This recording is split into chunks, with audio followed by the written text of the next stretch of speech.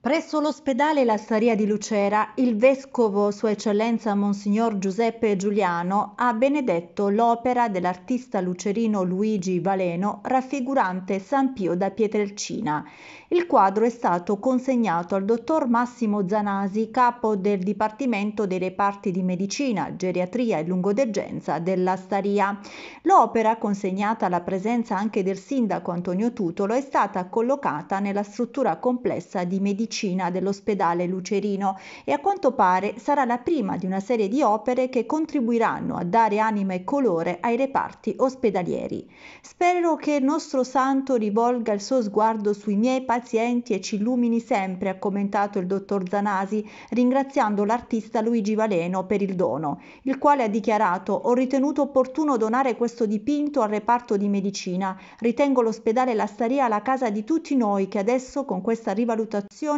possa diventare sempre di più polo ospedaliero per la città e i Monti Dauni. Un grazie a tutti gli angeli che lavorano nella struttura, ha concluso Valeno.